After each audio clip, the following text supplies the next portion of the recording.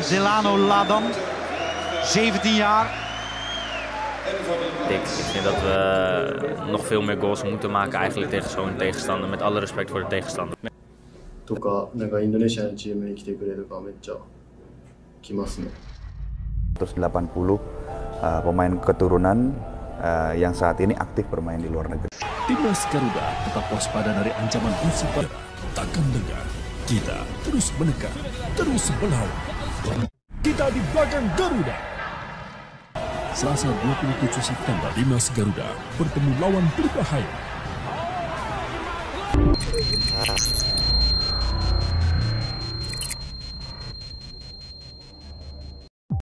Profil Delano Ladan, striker Feyenoord keturunan Indonesia. Profil Delano Ladan, striker Feyenoord yang ternyata memiliki keturunan Indonesia. Hal tersebut diungkap oleh akun Instagram @footballtalenesia tentang asal-usul Delano Ladan. Siapa sangka kalau striker serba bisa Feyenoord U21, Delano Ladan, ternyata memiliki darah Indonesia. Siapa sebenarnya Delano Ladan? Delano Ladan memang lahir di Leiderdorp, Belanda, 22 tahun yang lalu. Akan tetapi, Delano Ladan memiliki seorang kakek yang berasal dari Pulau Jawa, Indonesia, namun Delano Ladan memulai karir sepak bolanya langsung di Belanda. Saat baru berusia 6 tahun, Delano Ladan langsung bergabung dengan tim muda Feyenoord hingga 2011. Sempat bersama tim muda Haglandia dan Ado Den Haag, akhirnya Delano Ladan gabung dengan tim senior Ado Den Haag pada 2017.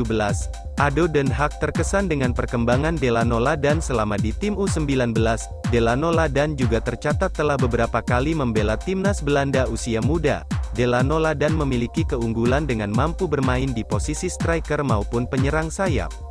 Asalkan Delano Ladan bisa tampil konsisten bersama Feyenoord U21, siapa tahu ia juga bisa dilirik oleh Sinta Eyong untuk gabung timnas Indonesia. Seperti yang kita tahu kalau Sinta Eyong sedang memantau beberapa pemain keturunan Indonesia di luar negeri, untuk Piala Asia dan kualifikasi Piala Dunia 2026.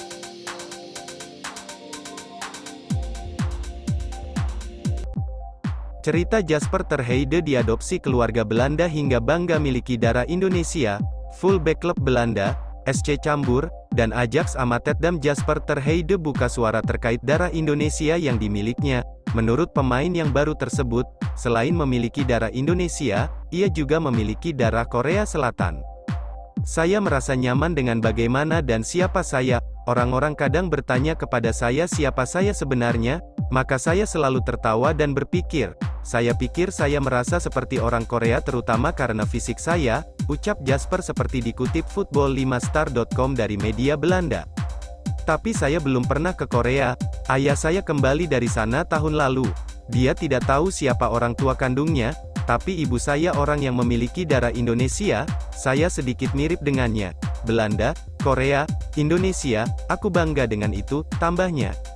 Nama Terheide sendiri merupakan nama dari keluarga Belanda yang mengadopsi pemain berusia 21 tahun ini, ia pun mengaku bahwa perbedaan budaya dari tiga negara ini tak banyak mempengaruhi hidupnya, Jasper malah mengaku senang dengan budaya berbeda di keluarganya.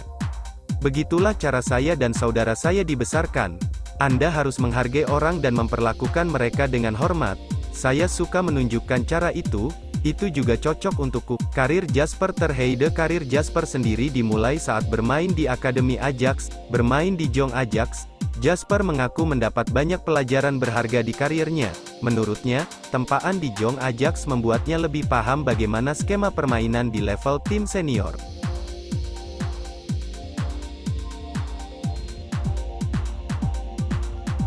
Profil Arnold van der Veen, pemain naturalisasi pertama timnas Indonesia. Mengenal lebih jauh sosok Arnold van der Veen, pemain yang tercatat dalam sejarah sepak bola tanah air sebagai pemain naturalisasi pertama timnas Indonesia. Banyak yang menganggap timnas Indonesia mulai gencar melakukan naturalisasi setelah era Piala AFF 2010, usai kesuksesan Christian Gonzalez. Saat itu, program naturalisasi dilakukan dengan menggaet para pemain keturunan yang berkiprah di Eropa, dan terus berlanjut sampai saat ini. Di era saat ini, timnas Indonesia bahkan mulai banyak diperkuat pemain naturalisasi. Pada laga terakhir skuad Garuda, yakni melawan Argentina, 19 per 6 total ada 5 pemain naturalisasi dimainkan. Program naturalisasi ini pun memang belum membawa timnas Indonesia berprestasi, tapi program ini bisa membuat level dan kualitas tim merah putih meningkat. Sosok yang digadang-gadang sebagai pemain naturalisasi pertama adalah Arnold van der Veen yang kemudian menjadi kiper andalan timnas Indonesia. Lantas, siapakah sosok Arnold van der Veen tersebut? Berikut profilnya. Dari namanya saja, bisa ditebak bahwa Arnold van der Veen memiliki ikatan dengan Belanda. Meski namanya dan fisiknya layaknya warga negeri kincir angin, nyatanya ia sendiri lahir di Semarang, tak diketahui tanggal, bulan, dan tahun lahirnya. Akan tetapi, jika ia bermain bagi timnas Indonesia di era 50-an, bisa dipastikan ia lahir di Semarang saat Indonesia belum merdeka atau masih bernama Hindia Belanda. Karena lahir di Semarang saat Indonesia masih bernama Hindia Belanda, banyak yang meragukan bahwa pemain yang akrab disapa Nol ini berstatus pemain naturalisasi. Nol bermain bagi Excelsior hingga 1948, sebelum akhirnya bermain bagi tim lokal Indonesia yakni Persija Jakarta hingga 1954, usai tim khusus etnis Eropa itu dihapuskan. Selama di Belanda, Nol pun masih meneruskan karirnya yakni kala bermain bagi Fortuna 54 dan rumornya juga sempat membela Ajax Amsterdam di tahun 1955 sebelum kembali ke Indonesia.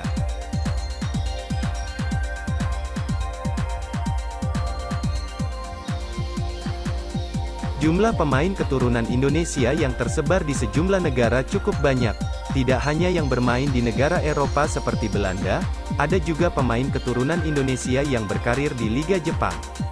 Di Liga Jepang terdapat pemain kembar yang diketahui memiliki darah Indonesia, mereka adalah Riku dan Riki Matsuda, nama keduanya beberapa tahun lalu sempat jadi sorotan media Indonesia.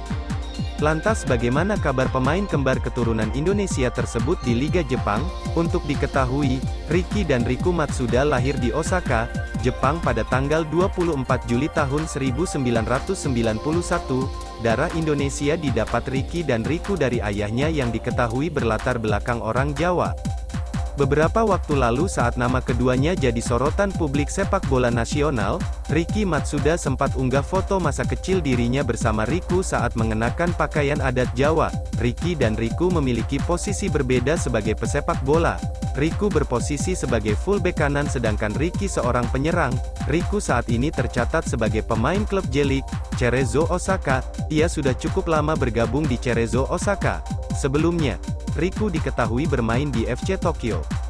Riku juga tercatat pernah membela tim U18 Jepang sebanyak satu pertandingan pada tanggal 18 Juni tahun 2017.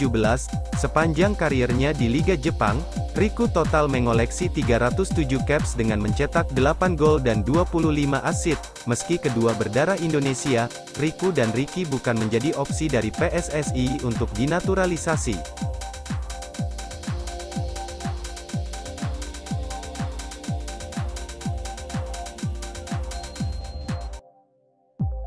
Netizen minta PSSI naturalisasi Delano van der Heijden, sudah ngasih kode keras. Pemain keturunan Indonesia, Delano van der Heijden baru saja menandatangani kontrak bersama dengan Feyenoord selama 2 tahun sampai 2025.